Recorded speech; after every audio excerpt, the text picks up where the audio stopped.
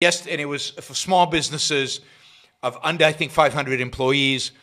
And the government published a list of everybody who got a loan, I think above $100,000. So they didn't bother publishing the small loans, the 20,000, 30,000, just the, just the 100,000 and above.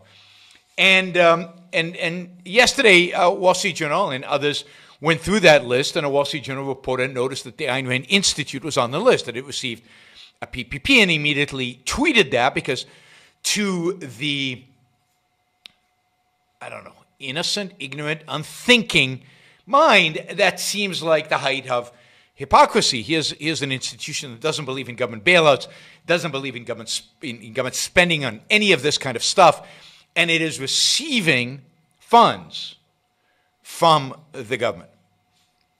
And that, of course, created this massive storm. Anybody from you know, people like the Wall Street Journal, uh, but then, of course, uh, uh, uh, what's his name? Robert Reich had to step in and publish his old video, which really slams Ayn Rand, which I have posted a video response to a, uh, a few months ago. And then Stephanie Kelton uh, of Modern Monetary Theory, the, the economic advisor to, um, to what's his name, Bernie Sanders uh, jumped in, uh, accusing the Ayn Institute of all kinds of things. And it's like everybody's this shock, and then people are just shocked. Rand Institute taking PPP money, horrific. If anybody had actually done their research, which I know, I know today, in the world today, you don't expect reporters to do, God forbid, they would discover that uh, as far back as uh, late April, in May, the Ayn Institute put out an, a, a, written piece by a board member, Harry Binswanger, and by um, a board member and employee, uh, chief philosophy officer at the Institute, Onkar Ghate, which actually said, we're going to take PPP money, and here's why. And the Ayn Institute did an entire webinar, I think it was over an hour long, on why in times like this, it's, it, it well, not just in times like this, generally, it's okay to take money from the government in the right context. And we link to an Ayn Rand article where she talks about the fact that getting money from the government, if you are against getting money from the government, is moral. That indeed, nobody else is justified in getting money from the government because they're the ones who are advocating for, they're the ones who are promoting theft. But if you're actually the one who is against theft, who is promoting actively limited government, limited to the protection of individual rights, government that does not use the excuse of democracy to steal from some, to take from some, to give to others, government that does not destroy the economy by intervening and by oppressing us and by telling us what we can and cannot do. Indeed, if you're advocating against all that, you are the one, you're the only one for which it's moral to accept the money. It would be immoral for you to say, no, no, no, because I'm one of the good guys, I'm not going to get the money and let, and let the bad guys let the people who promote these ideas, let them benefit from this. That would be absurd. That would be suicidal. That would be insane.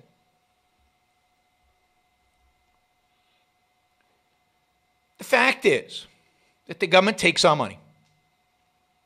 If we can get some of it back, why wouldn't we? I mean, I know that when I do my taxes, or when I have my accountant do my taxes, my ask of my accountant is use every loophole every exemption, every possible thing to minimize the amount of money I pay taxes. Even though, when I talk about taxes, when I argue about taxes, I either argue that there should be no taxes, but in the world today, I don't, you know, that's, that's not realistic. I argue that taxes should be flat, simple, with no deductions, no exclusions. And yet, I take advantage of every deduction and exclusion that there is. I would be an idiot not to. So I'm going to be penalized because I take a rational position. Now, somebody asked, Does ARI pay taxes? No, ARI does not. But its employees do, every single one of them. Employees who, during the crisis in March, because we saw a shrinkage of contributions and we didn't know where this was heading, were the hours were cut dramatically. And by the way, we'll talk about why why we didn't know what was happening and why you know uh, the, the, economy did as badly as it is and why contributions went down. And PPP is going to pay them salaries, so they pay taxes. They're getting restitution for all the taxes they paid over the years. Our contributors pay taxes. All those contributors who now had to cut their contributions pay taxes. But it's more than that. It's not just the taxes. Taxes is one dimension of this. Well, we're getting restitution. We're getting some of our tax money back, but it's more than that. The government actively engaged in destroying the economy. Yes, there was a virus. Yes, the virus was pretty horrific. Maybe. Right? Certainly in some places it was. But it is the government, our government, at the federal and state level, that did not get its act together, that held up testing. Indeed, you know, made it impossible for the private enterprise to test, to develop tests, to roll out tests. Treatments are being held up by the FDA, by the CDC. So we have a government that completely, utterly, unequivocally screwed up their response to COVID. And then they screwed it up so badly that the virus got out of control, which led state governments, which had already screwed it up by not testing, you know, uh, uh, testing and isolating and tracking, they had screwed it up, so they shut down the economy. By shutting down the economy, they took away people's livelihood. They destroyed businesses. And there was a good chance they were going to destroy the Ayn Rand Institute. Because we rely on contributions from people who have businesses, who are now being destroyed through government action. To compensate for this, this is typical government. You do something statist, which is irrational and immoral, and then you try to compensate it by doing more irrational, immoral stuff, like distributing future savings by printing money and handing it out. Well, as an organization that was advocating for a rational approach to the virus, a rational response that would not have required shutting down the economy, would have not have required isolating everybody at home, would have not have required lockdowns. Suffering as a consequence of what the government done why would we not take the money as compensation for the damage they were causing us? Compensation for their irrationality. In a laissez faire economy, in a laissez faire world, there would be nobody to get this from.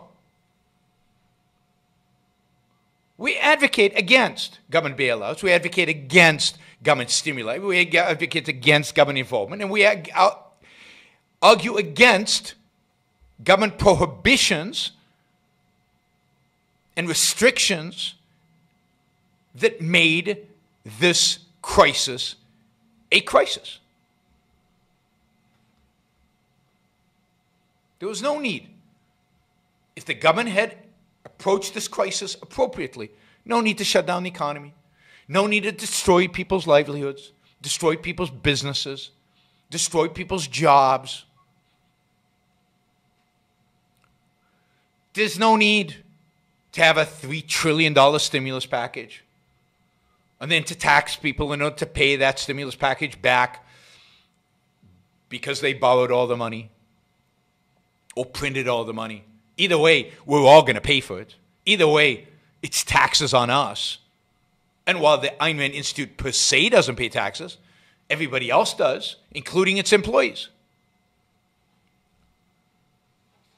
So, of course, she should take the money. while arguing against the government distributing it, you should take it. So, so only the enemies of capitalism should take their money.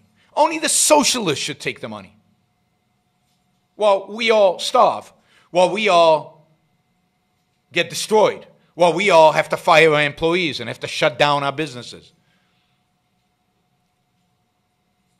That, that is ludicrous, suicidal, martyrdom, self sacrificial.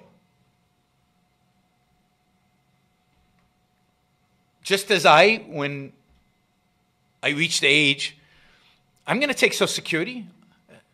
I paid taxes all these years. I'm going to take my Social Security back. I'm going to take my money back. This shouldn't be Social Security. They should never stolen the money from me to begin with. And what option do I have but to use Medicare? When you're 65, you either take Medicare or you have nothing. The government doesn't allow you to buy private health insurance. So, of course, I'm going to take Medicare. Not to mention that I paid gazillions of dollars into it. Why would I subsidize everybody else and not take money out when it's my time? And if the government wants to return some of the money it has taken from me to me, I'm going to take it. I take it every tax season by taking as many deductions, exclusions that I possibly can. And, and don't pretend that you paid into Social Security or into Medicare. That is a fallacy. Medicare and Social Security are welfare programs. They're welfare for everybody, but they're not. You didn't pay for anything. The money isn't sitting there waiting for you. It's a redistribution program. The money you paid into Medicare and Social Security was paid out years ago to old people who were old then. Every time you send a check to Social Security Medicare, that money immediately goes out the other door. There's a little piece of paper that's left in a closet that says, I owe you. But you didn't pay in. The money was taken from you and given to other people. And when you take the money out, you're not going to count to see, ooh, how much did I pay in? How much should I take out? You'll take out as much as you can because you paid huge amounts of taxes, Social Security, Medicare, and everything else. This isn't hypocrisy. This is justice.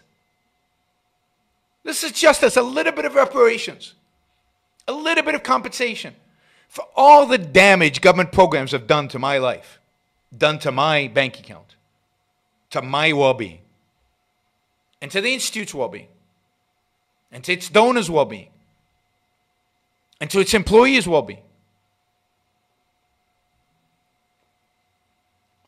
So, yes, the Ayn Rand Institute took PPP money. It said it was going to take it in April, and it did. And good for them for getting some of their money that's being taken from them back. So, there's no hypocrisy here. What there is is justice. We've always said, and Ayn even said this in the 60s in an essay that you can find online. It's called The Question of Scholarship. She said in the 60s that given how much taxes you pay, given the cost that the government imposes on you through regulations, controls, and manipulation of the economy, particularly post COVID, yeah, if you can get some of it back, go for it, do it, and use it to fight government programs. Use it to fight the programs of the government that they use in order to attack you. What we need today, what I call the new intellectual, would be any man or woman who is willing to think. Meaning, any man or woman who knows that man's life must be guided by reason, by the intellect, not by feelings, wishes, whims, or mystic revelations. Any man or woman who values his life and who does not give, want to give in to today's cult of despair, cynicism, and impotence, and does not intend to give up the world to the dark ages and to the rule of the collectivist brute. Using the super chat, and I noticed yesterday when I appealed for uh, support for the show. Many of you stepped forward and actually uh, supported the show for the first time. So I'll do it again. Maybe we'll get some more today. Um, if you like what you're hearing, if you appreciate what I'm doing, then I appreciate your support. Uh, those of you who don't yet support the show, please take this opportunity. Go to yaronbrookshow.com slash support or go to subscribestar.com, Brooks Show, and, um, and, and make a kind of a monthly contribution uh, to keep this uh, to keep this going. I'm not sure when the next